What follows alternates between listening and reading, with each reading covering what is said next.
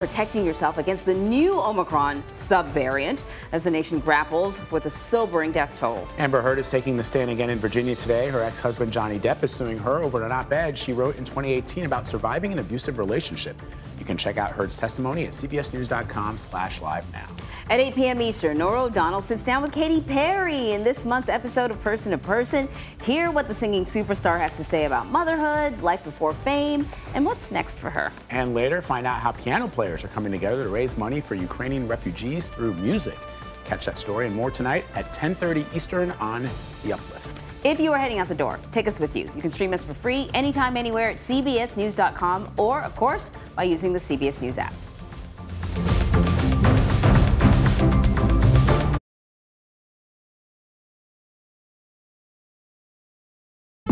An original documentary from CBS Reports.